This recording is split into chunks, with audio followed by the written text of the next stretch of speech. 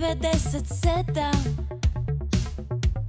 Tijelo mi pulsira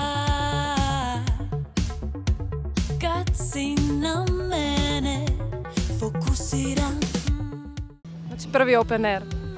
A, prvi open air, da. Jeste uzbuđeni? Jako, Jako. jako, jako. Uvijek sam za počinke.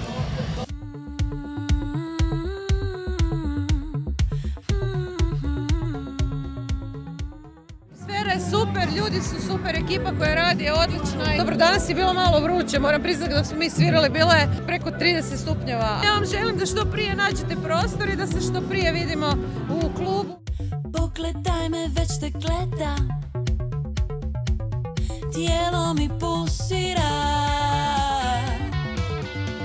Sve kad je dno dna Ti si mi mua Mija i pas.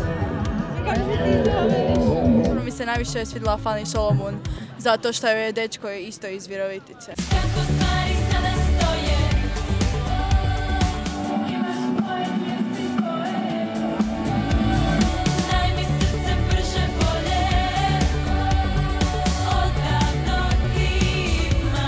Ponedjeljak vam je matura. Meni druga, ja sam imao iz grčkog sad u sredu, po 12 sat.